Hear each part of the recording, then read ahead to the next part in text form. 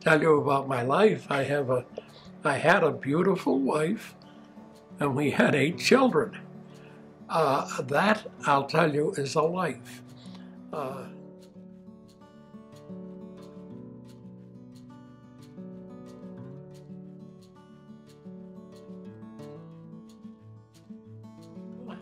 I was driving up the Morgan Highway one day and uh, I saw this lot for sale.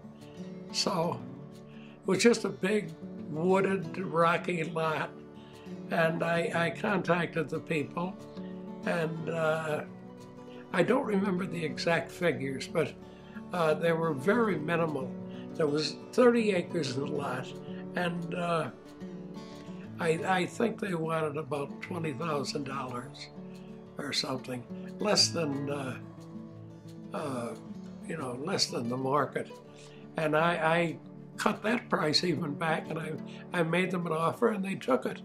My son had been in the miniature golf sales business. So we got to talking and we decided we would build what we called an outdoor miniature golf course there, only different than all the others. All the others were little individual units with just a, a place to putt and a hole, and then you walk to the next individual unit. Ours was much more like a, an actual golf course. In about uh, 1983, I was looking for a job. I went to work for Loma Enterprises in Scranton, Pennsylvania. Uh, it was a company that sold miniature golf courses. I worked there for two years um, I came across a company, Harris Miniature Golf in Wildwood, New Jersey, and I was a salesman. I went to the vice president and I said, how do I sell against this company? And he said, don't worry about them. Uh, they make a product that's too good and it's too expensive and they're not competition. Well, the fact that he said that the product was too good, me being a salesman, that's who I wanted to sell for. So I contacted Joe Harris and I said, I'd like to come work for you. And in uh, 1986, that's what I did. I moved down to Wildwood, New Jersey, and I started working for Joe Harris selling miniature golf courses. After working at Harris for two years, actually moving into pretty much running the company, uh, the owners wanted to retire. And uh, we worked out a deal, and I bought them out over time. And uh, today I'm the owner. I was seeing how successful some of these people were in the miniature golf business, and I wanted to open up a miniature golf course of my own. At that time, family entertainment centers were big, and they were putting miniature golf courses next to batting cages, go-karts, bumper boats, uh, small buildings with arcades. Uh, at the same time, my father was getting ready to retire, and he thought this would be a nice retirement business. So uh, in 1995, uh, we built Lahey Family Fun Park. Batting cages, go-kart rides, bumper boats and soft play slides, mini golf with waterfalls, Lahey Fun Park has it all. So we built it and we opened it and uh, people came. And I didn't want to get involved. I, I wanted to be retired.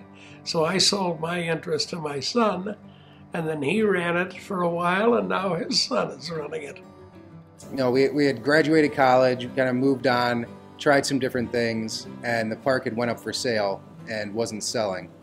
So you know, Mar and I kind of discussed it. It was an option for us to come and take over the park. Uh, we talked about it, kind of weighed our options, and we thought, you know, it'd be a really fun opportunity and a good opportunity for us. Both marketing majors, you know, something that we love doing, running a business. So uh, yeah, we decided to move back from Rochester, come back home to Scranton, and take over the fun park. They're doing an excellent job. You know, they're they're with it as far as all the social media marketing. Uh, with the marketing is the only way you're going to get people to come to the park.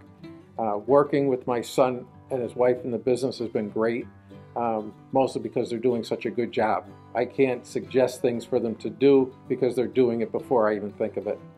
Uh, it's uh, it's a good business. Yeah. I always had ideas of, you know, we could do this with the park, we could do that with the park. I went to college for business and, you know, ideas were always running through my head. So when the opportunity came to take over the park, I certainly already had a ton of things that I was thinking of and improvements that we could make. that I you know wanted to implement. Sure. When we took the park over in 2008, uh, it was definitely going down. There were a lot of things that need to be you know taken care of, maintenance issues, uh, general cleanliness, landscaping, and the park at the time wasn't doing too well.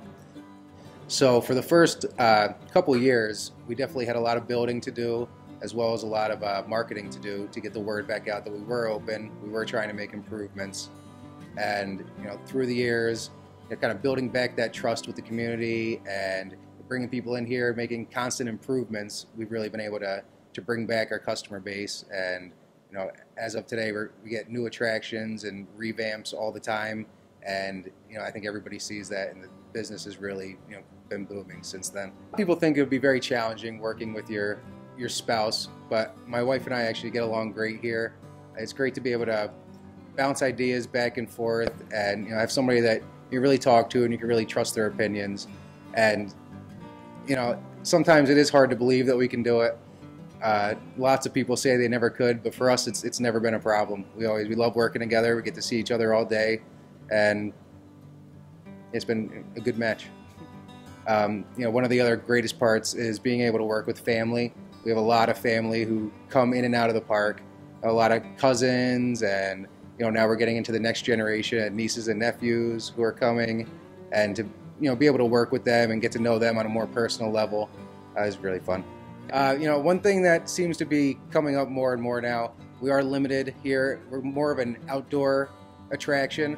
Uh, most of our, our biggest things are all outdoors with the mini golf and the go-karts. But our indoor arcade is also nice.